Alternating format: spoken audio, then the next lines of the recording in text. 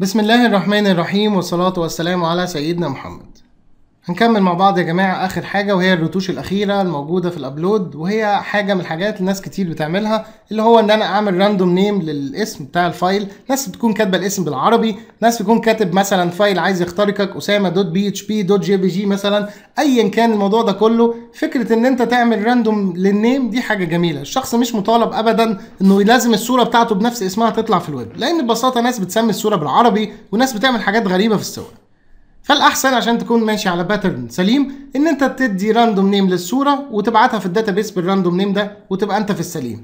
ولو عايز يعني في ناس بتعمل حركات من الحركات الصايعة جدا لو أنت عايز إن أنت تسجل اسم الصورة الشخص رفعها بيه والاسم ال random وتبعت الاثنين في database عشان تقدر تتعامل بيهم بأي طريقة تعجبك بعد كده في الموقع تقدر بسهولة تبعتهم كقيمتين مختلفين. واحدة فيها ال- name العادي اللي هو الشخص رفع بيه وواحدة فيها ال random name اللي بيظهر بيه الصورة في الموقع. يعني عايز أقول لك إن أنت تقدر تعمل كل ما تتخيله طول ما أنت فاهم برمجة ببساطة شديدة. طيب أول حاجة نعملها إن أنا عايز أعمل ال random name ده. ال random name ده طالب مني إيه عشان أعمله؟ أنت عايز أول حاجة ال image extension. ال image extension أهو جبناه والحمد لله ومفيش مشكلة فيه خالص. فأنا عايز دلوقتي أحط اسم عشوائي أولد اسم عشوائي وأروح حاطط بعديه على طول اللي هو ال extension اللي هو أنا جبته دلوقتي بالسطر ده. طيب الكلام ده كله قبل ال check إحنا مش عايزين check هنا خالص إحنا كل ده قبل ال checking هنطلعه. هقول له get random name for file هروح هنا أقول له إن مثلا عايز image random مثلا واحط طبعا ال i عشان هعمل كذا واحد وهطبعهم في وسط ال array أكيد. ال image random بيساوي وعندي function اسمها راند عندك مليون function بتعمل بيها random number يعني زي ما تحب مفيش مشكلة خالص يعني. ال image random ده زي ما انت شايف هيطلع لي رقم عشوائي بس لسه ما حطيتش الامتداد. أنا عايز بس أطبعه واوريك وإحنا بنرفع الصور هيعمل إيه. طيب وأنا برفع الصور هنا في حالة إن مفيش error بيقول لي إن ال file number كذا وال file name كذا والمفروض نحطهم في div يعني عشان بس العملية تبقى في السليم. خلينا نحطهم في div بسرعة. div هنا و div هنا و slash div وهنا نفس الموضوع slash div بعد كده هحط أنا في السطر الثالث تماما هنا.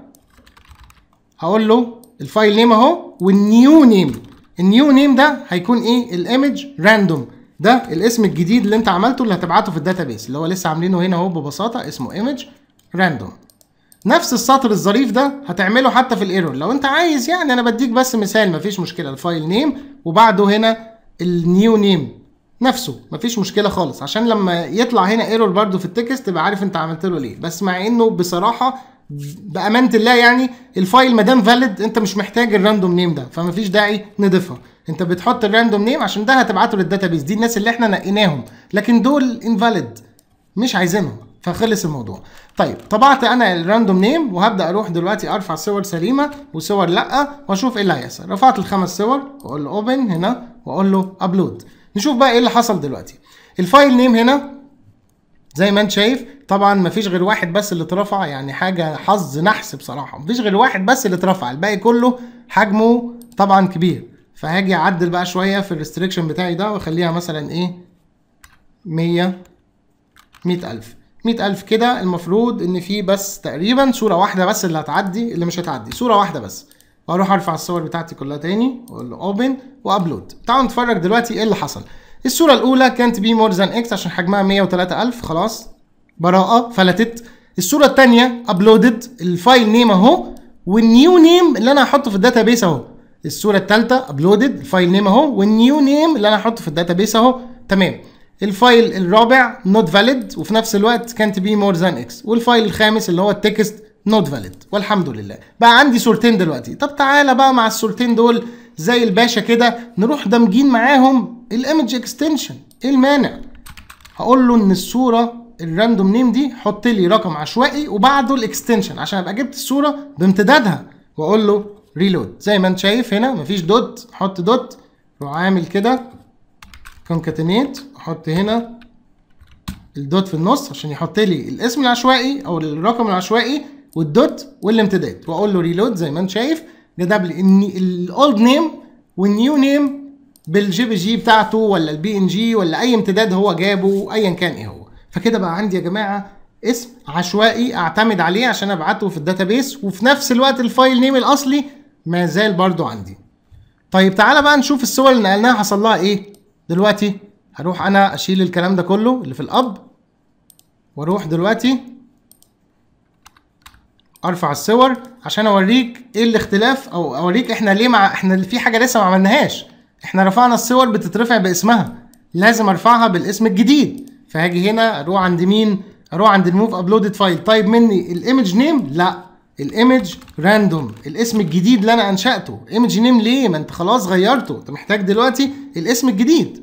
وأروح رافع دول كلهم وأقول له upload زي ما أنت شايف هنا الصور اترفعت بالاسم الجديد بالامتداد والحمد لله ومفيش أي مشكلة خالص. عندنا حاجة بعد كده مهمة جدا. إحنا عملنا ال random name والحمد لله وكله تمام. أنت كده في السليم. أنت كده في البيس. بس فاضل حاجة مهمة. الصور دي كلها بتتحط في ال database إزاي؟ في ناس مش فاهمة النقطة دي وبيضيعوا فيها. الصور دي كلها ببساطة شديدة بتتحط في ال database as single string string لو انت مثلا صورة single بتتحط في ال database الاسم ده بس اللي هو ده بالامتداد بتاعه. طب أنا بستدعيه إزاي يا مؤمن في الموقع؟ ما دام هو اسم بس بحط مسار ال upload كاملا وبعده اسم الصورة فبيجيب لي الصورة كاملة. خلص الموضوع ببساطة شديدة. طب استناني لا ما خلص انت هتكروت. إزاي خلص؟ ده إحنا دلوقتي عندنا كذا صورة. إزاي نطلع الكذا صورة دول في string واحد ونبعتهم في ال database ون handle هم ونرستقهم إزاي؟ في الأول كان ممكن انت تعتمد على ال image name ده ك array مثلا وتطلع الأسماء دي كلها في array جديدة وتبعتها على ال database على string واحد ك string واحد. لكن في حاجة حصلت هتمنعنا من إن إحنا نعمل ده إن أنت أصلا غيرت أسماء الصورة الصور كلها جوه بموضوع ال random ده. فلازم جوه ال for loop نبني array جديدة هي ال last image اللي هنبعتها في ال database جوه ال for loop حلو قوي. هاجي هنا ببساطة شديده أنا عملت setting error array وهقول له هنا setting مثلا database image name. أي حاجة أي بتنجان مش هتفرق. الاسم ده مش هيفرق. وهقول له هنا إن ال array دي أسميها all image. بتساوي array. بقى عندي array فاضية اسمها all images. هدخل على ال for loop أشوف مين البشوات اللي إحنا اخترناهم اللي هو ال files اللي اخترناهم وأروح حادفهم جوه ال array دي. بعد ما أخلص خالص ال array دي بقت جواها العناصر دي أروح مطلعها بره خالص وأحولها ل string وأبعت ال string ده على ال database شفتوا السيناريو بسيط إزاي؟ طب تعالى بقى نشوف هنعمله إزاي.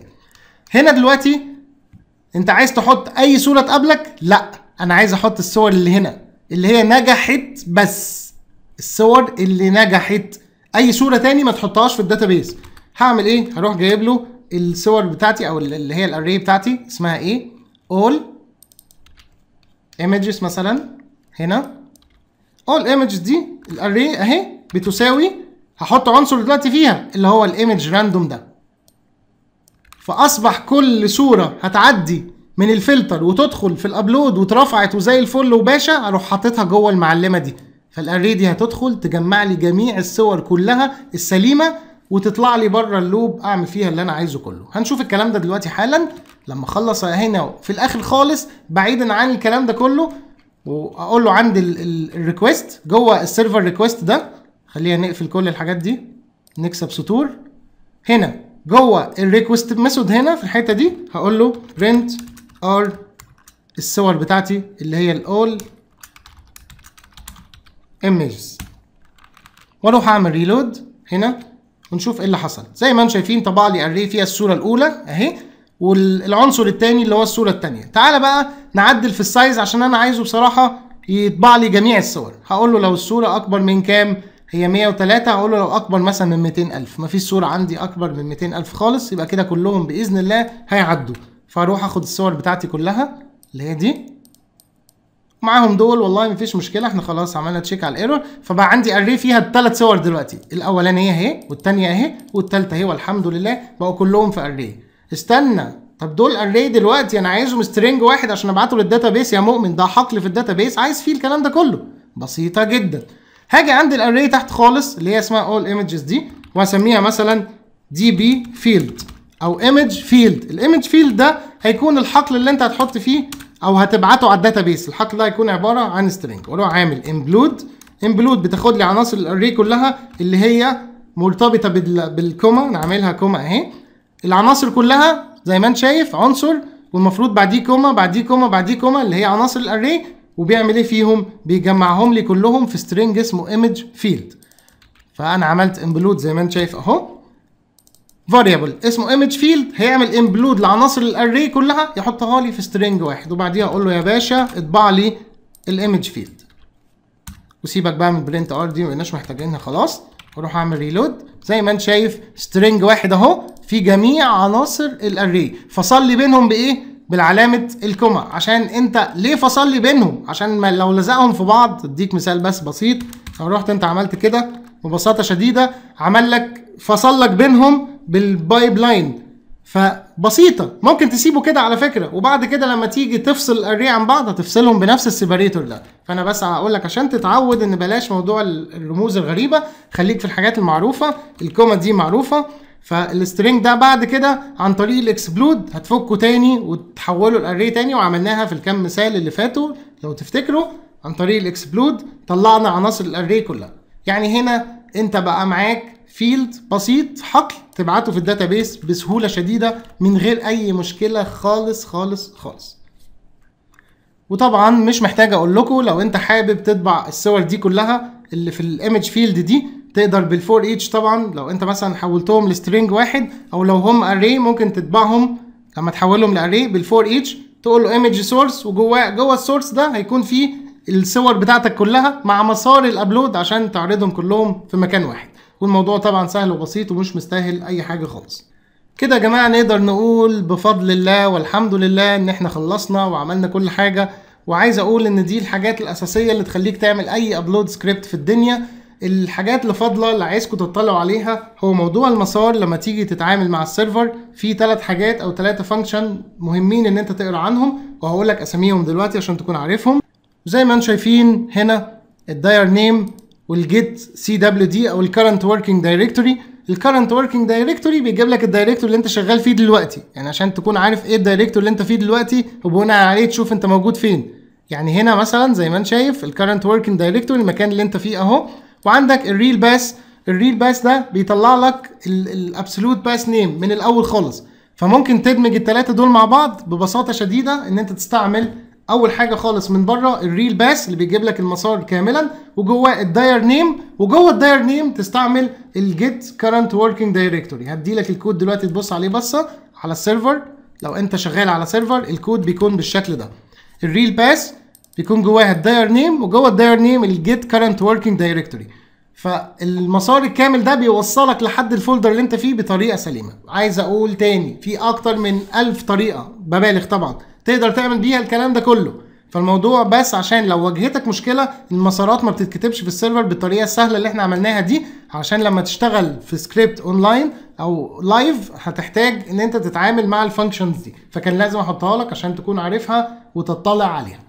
آه، موضوع الحماية زي ما اتفقنا عملناه في كورس الحماية في. في كورس ال PHP الخاص بالحماية في القناة عشان ما نعيدوش تاني هنا طبعا بس هقول بس الحاجات اللي تركز عليها. إن أنت ال folder بتاع ال upload تعمل عليه firewall جدار ناري عشان ما حدش يقدر يفتحه وبال htaccess إن أنت تمنع استخدام أو تمنع فتح أي files غير بس الصور. عايز تريح دماغك وتخلي مفيش حد أصلا يقدر يفتح صور من المسار ده إنه يشوفها حتى على موقعك اللي عايز يشوف صورة يشوفها في المكان المناسب ليها امنع كمان تشغيل الصور من ال folder ده. فأنت كده هتبقى طلعت من كل ال headache إن حد لو اخترقك ورفع ملف ما يقدرش يرفعه أو ما يقدرش عفوا يشغله. يا رب يا جماعة الدرس يكون بسيط وسهل وعجبكم ويا رب الكورس كاملا أو ال playlist تكون ظريفة واعذرونا على أي تقصير وإن شاء الله أكون قدرت أوصل الحاجة لو في حاجة حسيت إن هي معقدة عيدها تاني. الكود سهل جدا وبسيط وحاول تكتبه بنفسك. لما تشتبك في الكود وتكتبه هتلاقي الأمور بقت سهلة جدا. إن شاء الله أشوفكم مع كورس جديد و playlist جديدة. والسلام عليكم ورحمة الله.